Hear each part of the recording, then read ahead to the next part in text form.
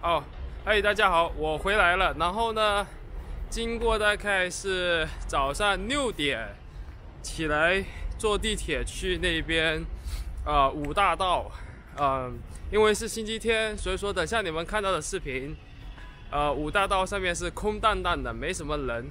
周边本来如果是星期一或者是嗯周日的话，周天周天应该是。周天的话人是非常多的，那今天星期天，而且是六七点早上，就没什么人。然后我还要赶着去上班，然后六点一直到现在，差不多一点了。然后我现在就背着书包再去上班，然后顺便上班的同时呢，我就把视频也剪一下。我发现了一下，如果说你待在曼哈顿或者是纽约这边待久了，其实什么东西都看习惯了，没有那种到。到一个新的景点那种那种兴奋，呃不开心，然后就是没什么东西想要去拍的，我就随便瞎拍了几下，就空旷的街道啊什么之类的，还有我去的那个教堂看了一下，嗯，比平常就是没那么热闹，还有就是还去了一下，去扫了一下年货，去超市里面买了些东西，然后呢就是呃去那个唐人街。那个 Canal Street 那边走了一下，走了大概四分钟，用 4K 的画质拍了一下，还不错。那边现在这这边就旅游业好像变差了，可能是天气冷还是什么，街上啊店啊什么都关了好多，没有那么热闹了。以前稀奇古怪东西很多的，现在没了。好了，等下你们就看一下这个今天星期天我这个流水账一样的视频，你们就可以知道了。其实。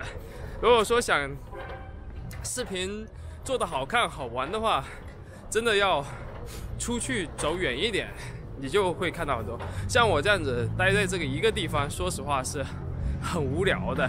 平常就算自己去拍也好无聊。OK，就到这里，我们看视频吧。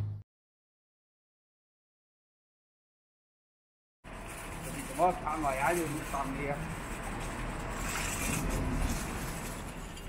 哎，这就是呃五大道，然后看一下，星期天没什么人，我们来看一下，然后这就是那个什么纽约的那个大教堂，哥德式建筑非常有名，大家都会来看一下。